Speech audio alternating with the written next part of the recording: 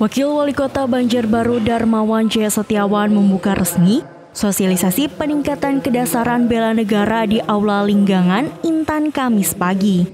Pembukaan sosialisasi ini ditandai dengan penyematan tanda peserta kepada sejumlah perwakilan peserta sosialisasi.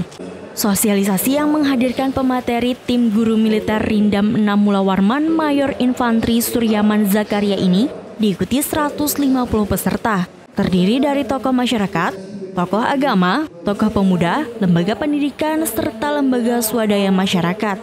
Dalam sosialisasi yang digagas oleh Kesbang Pol Kota Banjarbaru ini, para peserta mendapatkan materi terkait kesadaran bela negara untuk meningkatkan rasa nasionalisme, kebinekaan, serta cinta tanah air.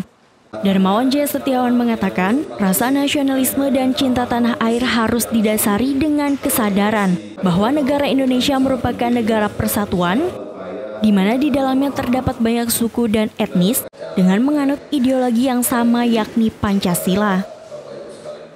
Jadi nasionalisme cinta tanah air itu juga harus didasari kesadaran bahwa negara kita ini satu negara kesatuan Republik Indonesia, tetapi di dalam negara negara kesatuan Republik Indonesia itu banyak berbagai uh, suku dan etnis yang semuanya harus punya eh, prinsip-prinsip uh, dan ideologi yang sama sehingga negara kesatuan Republik Indonesia ini eksistensinya terjaga.